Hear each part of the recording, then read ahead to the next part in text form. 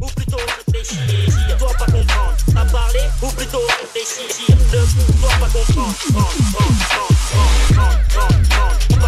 ou plutôt réfléchir. Dois pas comprendre, pas complet ou plutôt réfléchir. Dois pas comprendre, à parler ou plutôt réfléchir. Ne dois pas comprendre, prendre, prendre, prendre, prendre.